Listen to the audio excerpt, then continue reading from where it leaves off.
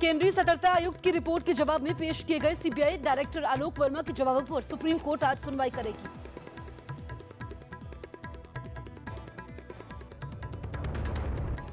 जम्मू कश्मीर के शोपिया में एक गाँव में दो तीन आतंकियों के घेरे जाने के बाद मुठभेड़ शुरू हो गई है।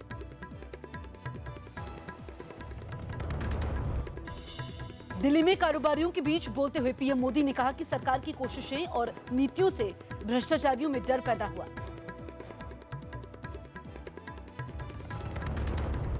सोनिया गांधी ने नाम लिए बगैर पीएम मोदी की तुलना मनमोहन सिंह से करते हुए कहा कि कुछ लोग काम करते हैं और कुछ क्रेडिट लेते हैं।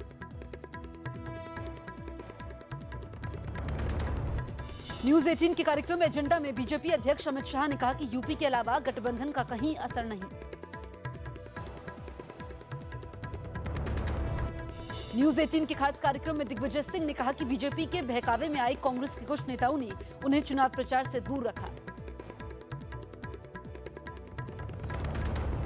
न्यूज़ 18 के मंच पर कमलनाथ ने कहा कि राहुल एमपी में ज्योतिरादित्य सिंधिया को सीएम बनाए तो भी खुशी की बात।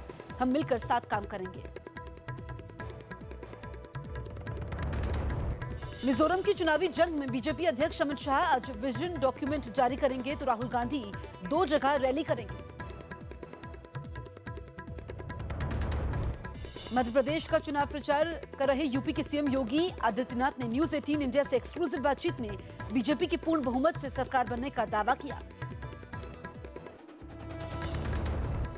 राजस्थान में सांगानेर से बीजेपी के बागी उम्मीदवार ज्ञानदेव आहूजा की रैली में पैसे बांटने के मामले में चुनाव आयोग कार्रवाई कर सकता है। उत्तराखंड में आज चौरासी नगर निकायों के लिए हुए चुनावों के नतीजे घोषित किए जाएँगे।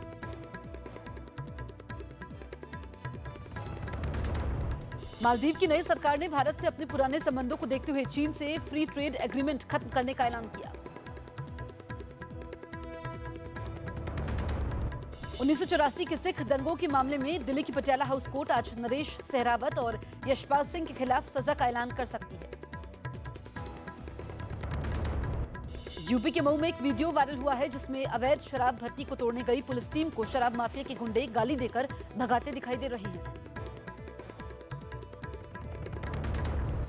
पाकिस्तान को अमेरिकी मदद रोकने की डोनाल्ड ट्रंप की दलील पर भड़के इमरान खान ने ताबड़तोड़ तीन ट्वीट करके दावा किया कि अमेरिका की जंग की वजह से पाकिस्तान को भारी नुकसान झेलना पड़ा। पाकिस्तान की सुप्रीम कोर्ट ने कटा सराज मंदिर का तालाब सूखने के मामले में एक सीमेंट कंपनी को दोषी मानते हुए 10 करोड़ रुपए जमा करने के आदेश दिए।